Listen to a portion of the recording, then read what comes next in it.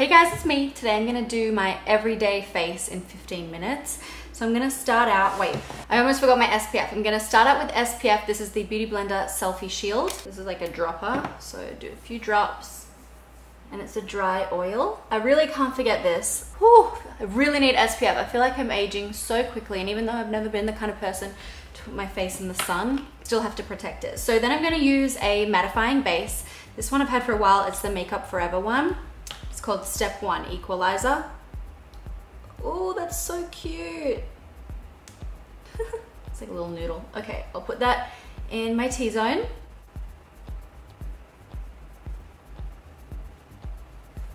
Oh, that's pilling. Foundation I'm going for today is this one by Laura Mercier. It's called the Flawless Lumiere and it's in the shade Dune. I'm gonna apply it with a beauty blender because I had a bit of peeling when I layered, or pilling, when I layered the primers. So yeah, I'm just gonna use a beauty blender because then I can pounce it rather than swipe, which might cause pilling. Pilling is when the product balls up a little bit on your skin as you rub.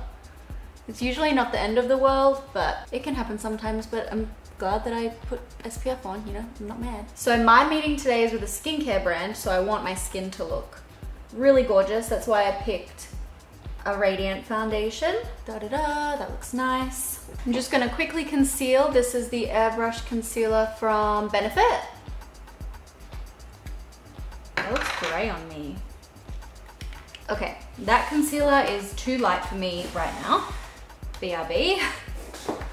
Okay, I'm gonna head back to one of my old school faves, NC30. Oh my God, you can't even tell. I think it's NC30. Even though that's actually a little bit light as well. Recently I got matched to be NC37, but I haven't gone to get, you know, the concealer of that. I don't know if they have the concealer, I have the foundation. Cool beans. Now eyebrows, this one's nice and quick. It's the Shiseido Eyebrow Styling Duo. It has a little thing at the end with like powder on it, which I think is cool, and then a skinny end as well. So you can kind of just quickly fill in the head of the brow like that with the powder. And then if you have the time, you can flip it.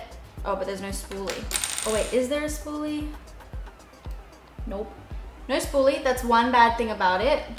But you know, I have a bazillion, so it's not a problem around here. Ta-da! And then you can use the little sharper end to do the tail. So it's good like that, see? You know, I actually have had this pencil for a while, so hopefully they still have it. If they don't, I should be fired because that's my job. I've also started using this Tinted Brow Enhancing Gel Fix by LashFood. It's like a product that sets your brows, but it also helps them grow. So if you're growing them out, it's great. It has little fibers in it as well.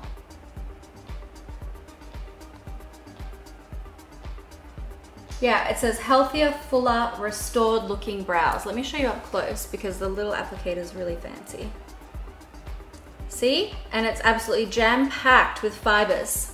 So it makes them look really, really full. So if you've got sparse eyebrows or you're wanting to grow them out, definitely try this. Well, I first bought the brand on Net-a-Porter, so they might have this product on Net-a-Porter. They definitely have the eyelash serum on Net-a-Porter because that's where I bought it.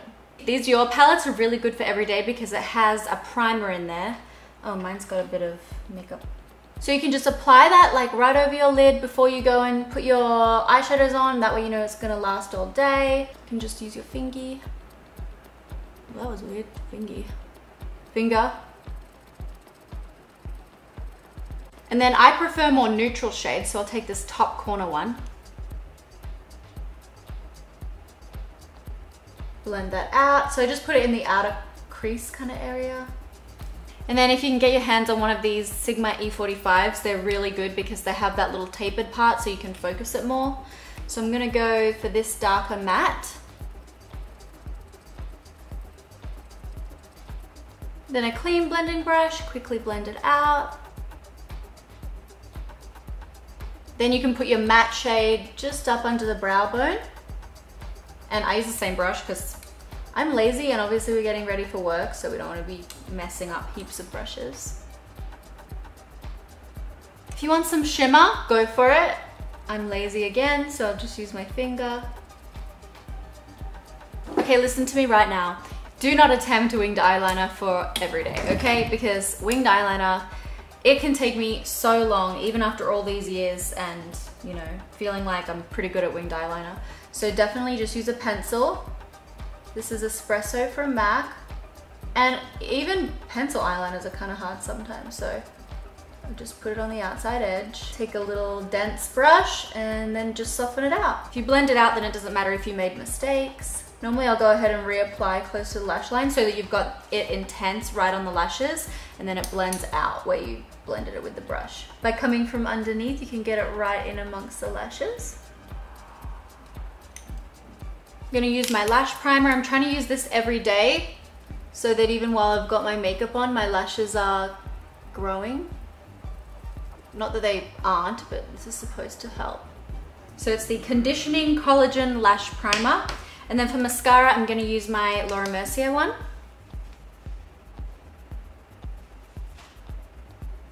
Oh, oh, got it on me. I'm just scratching it away. If you get it on yourself, not a big deal, it scratches away. For concealer under my eyes, I'm gonna use the Ultimate Coverage Longwear Concealer from Becca. This one's in the shade Sesame. If you prefer to use a brightening concealer, like one that's lighter than your skin tone, you can. But for every day, I just like to match it and then I use a more intensely contrasting one, like for nighttime. And, or if I'm feeling like I wanna be a little bit more sculpted, but yeah. For blush, I'll take my Portofino Multiple from NARS. I just got this color, but I love the NARS multiples.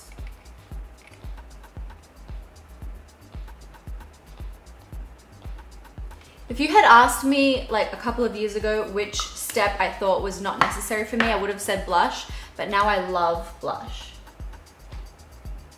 Even if I've applied powder blush, I like to go over it with my beauty blender just to make sure it's all nice and seamless. And look at how glowy that is. Okay, okay. Now blush, uh, well, we just did that, Chloe. Cream bronzer to match. This one's the Milk one, I love it.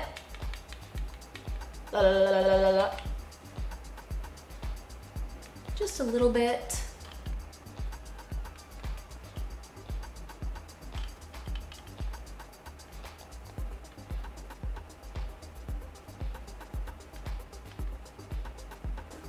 Okay, I'm gonna set, this is the Illuminating Setting Powder from Cover FX. Favorite thing about it, aside from how good it is, is that it has this little cap to this so it doesn't like get all over the lid and then when you open it get everywhere. It's the little things, you know?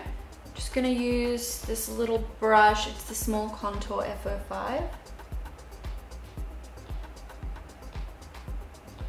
No, that's too small. Why do I do this to myself? I'm meant to be trying to save time, so obviously you should use a big brush. I don't know why I do this to myself.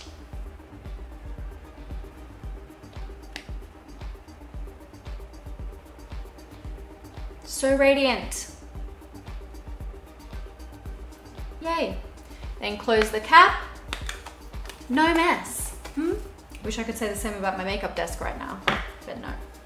It's hella messy. So then you just need something for your lips. This little lip crayon is so cute. It's like purse size, so it's good to take to work and it's so easy to apply. It's called Tay Tay.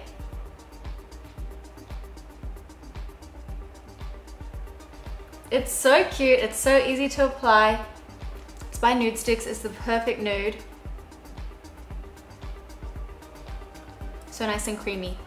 So I love that. You can also use it on your cheeks as well, but I'm just gonna use it on my lips. So that is my 15 minute face. Work face. Looks nice, right?